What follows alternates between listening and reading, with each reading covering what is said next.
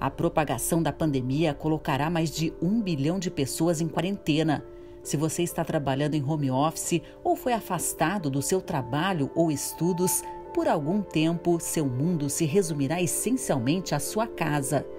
Apesar de difícil para todos nós, esta pode ser uma grande oportunidade para compreendermos melhor quais são nossos impactos em nossa grande casa comum, o planeta Terra.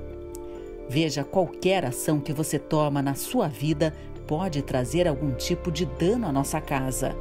A quantidade de água que você usa, o lixo que você descarta, os produtos que você consome, a maneira como você limpa seu lar, prepara sua comida. O que você faz individualmente na vida doméstica tem reflexos de maneira coletiva em todo o planeta. Você pode até pensar que os danos causados apenas na sua casa não são tão grandes. Mas lembre-se, somos quase 8 bilhões de pessoas no mundo. Então, se todos pensarmos que nosso impacto é pequeno, ao fim continuaremos a prejudicar nosso patrimônio natural e os recursos que são vitais à nossa sobrevivência.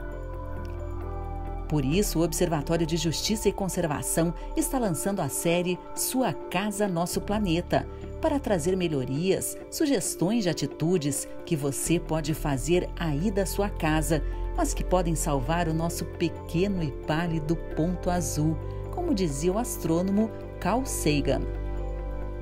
Para começar, vamos propor um exercício. Agora que as idas ao mercado estão cada vez mais restritas, comece a tomar mais consciência do seu consumo, desde comida, produtos de limpeza, brinquedos, eletrodomésticos, tudo. Quanto você realmente precisa consumir e quanto você utiliza apenas para se sentir bem ou por mero costume. Aquilo que você não sentir mais a necessidade de consumir agora, durante a quarentena, talvez deva reconsiderar sua necessidade de utilização quando tudo isso passar. Vale muito lembrar agora dos 5 R's: repensar, recusar, reduzir, reutilizar e reciclar. O primeiro passo é repensar. Antes de efetuar qualquer compra, reflita se é realmente necessária tal aquisição. Se você não está comprando por impulso, talvez você até consiga reaproveitar algo que já possui. Avalie quais os danos este produto causa ao meio ambiente ou à sua saúde. O segundo é recusar. Recuse produtos que vêm em embalagens não retornáveis. Prefira as recicláveis, como de vidro e metal, ou as biodegradáveis. Utilize ecobags em vez de usar a sacolinha plástica do mercado. Prefira as mercadorias de empresas que têm um compromisso com o meio ambiente. O terceiro é reduzir. A vida moderna nos faz querer de tudo um pouco ou muito. Isso é absolutamente desnecessário e às vezes destruidor. Quanto menor o consumismo, melhor para o nosso meio ambiente, sem contar o favor que fazemos ao nosso bolso. O quarto passo é reutilizar. A mentalidade de substituir produtos em alta velocidade nasce com a Revolução Industrial e traz em seu bojo a ideia de que apenas o novo é bom o velho é demodê, ultrapassado ou estraga. Sabemos que isso não é verdade. Muitos produtos passaram a ser fabricados com vida útil menor, justamente para que haja uma nova compra e para que o sistema seja simplesmente realimentado com o seu dinheiro.